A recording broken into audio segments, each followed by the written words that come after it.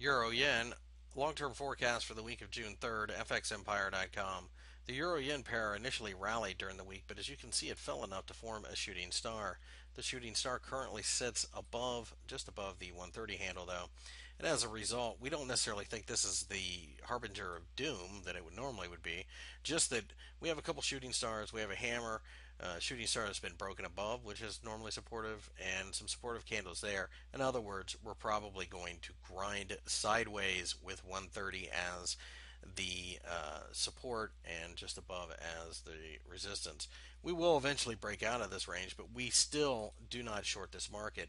The Bank of Japan is working feverishly against the value of the yen, and therefore we're not going to bother with it. Even if we fell from here, we think 128, which is roughly the bottom of these candles, is about as far as it can go before we start to attract serious buyers again. So, having said that, we are buying pullbacks in this market.